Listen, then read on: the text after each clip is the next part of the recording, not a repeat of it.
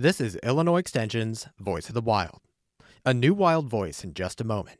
So find someplace quiet, take a deep breath, and enjoy.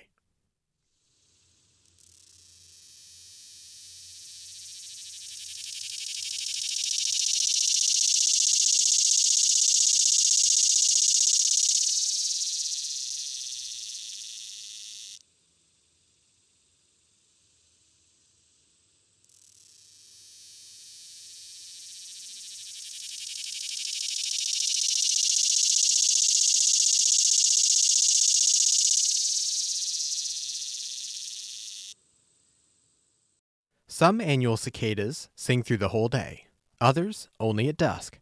But this cicada is unique. It sings almost exclusively in the morning. It begins its pulsating broadcast just after the late summer sun has cooked the cool of the night out of the low vegetation it tends to prefer. The song ends around noon, after which you'll have to appreciate the cicada for its bluish wings, dark body, and notably humped back. While it's known to have an affinity for swampy areas, I've heard it in Illinois in many habitats, so keep an ear open for it in morning walks past creeks and next to woodlands. This is the morning cicada, Neotibicen tibicen, from the family Cicadidae. This family of insects is in the order of true bugs, Hemiptera. The morning cicada's song is harsh and rattling. It also tends to come in discrete 10 second phrases instead of being held for 20 seconds or longer, as is common with some other annual cicadas. Here's the morning cicada again.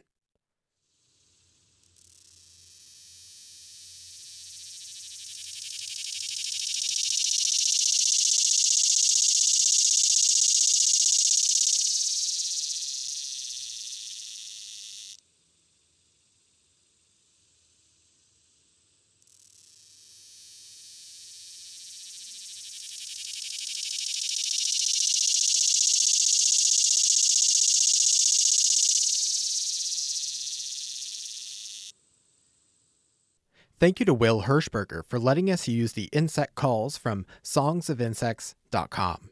You can find a link to that website in the description. And thank you for tuning in to learn a new wild voice with Illinois Extension.